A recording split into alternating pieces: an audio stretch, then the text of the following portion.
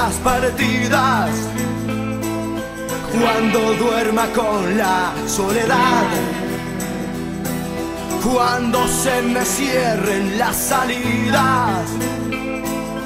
Y la noche no me deje en paz. Cuando sienta miedo del silencio.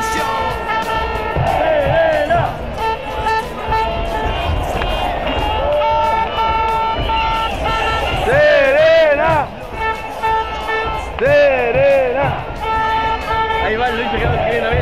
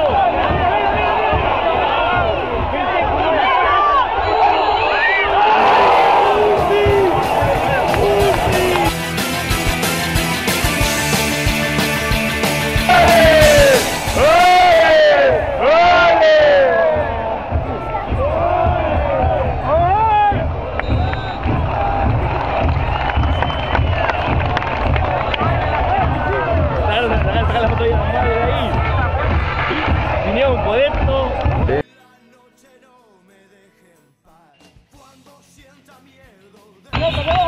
Se callaron las maracas. Se callaron las maracas. Pelota.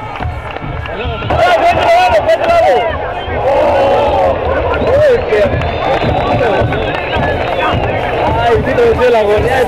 Lo la goleada.